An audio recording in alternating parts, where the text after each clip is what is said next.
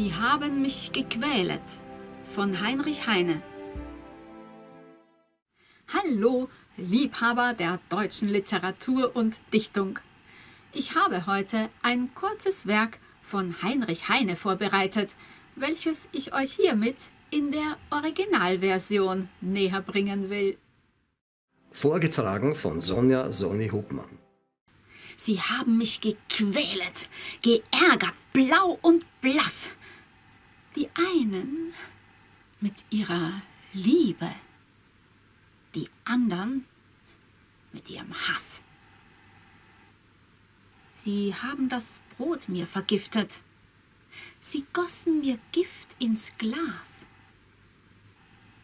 Die einen mit ihrer Liebe, die anderen mit ihrem Hass. Doch die mich am meisten gequälet, geärgert und betrübt, die hat mich nie gehasset und hat mich nie geliebt. Vielleicht habt ihr gemerkt, dass ich mich bei der Rechtschreibung ebenfalls an das Originalwerk des Jahres 1823 gehalten habe, als das Wort Brot noch mit D am Ende geschrieben wurde. Brot. Heinrich Heine war ein typischer Vertreter der Bewegung Junges Deutschland.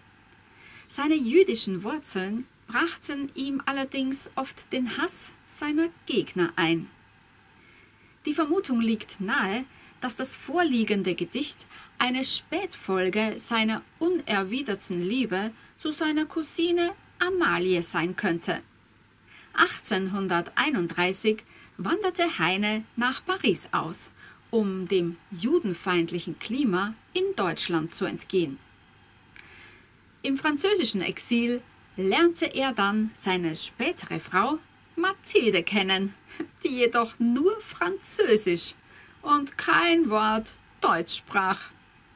Heinrich Heine starb nach langer, schwerer Lähmungskrankheit am 17. Februar 1856 in Paris.